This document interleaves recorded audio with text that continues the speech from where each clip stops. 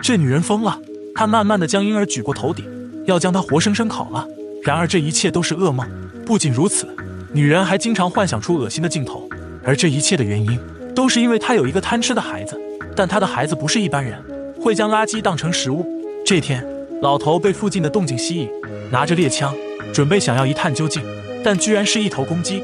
朝着门缝继续查看时，将灯光打到前方，周围仔细巡视了一番，却发现一个满嘴鲜血的男人。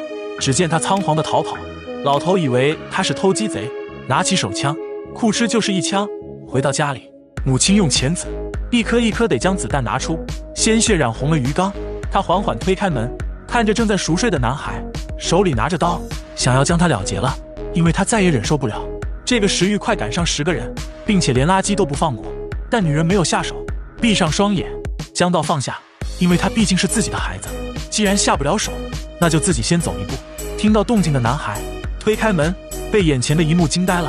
他拖动这残废的左脚，慢慢来到母亲身边。他抱着小美的手，内心充满了不舍，因为他太贪吃，才导致母亲离去。看着已经离去的女人，小帅心里产生了一个想法。他拿起已经凉透的手，放在嘴里，酷吃就是一口。但女人已经感受不出疼痛。这个世界上现在只剩下他一个人，而他却又蠢蠢欲动。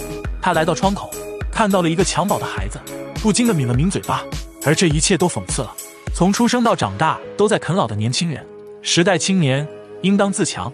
海沧电影带你走进电影人生。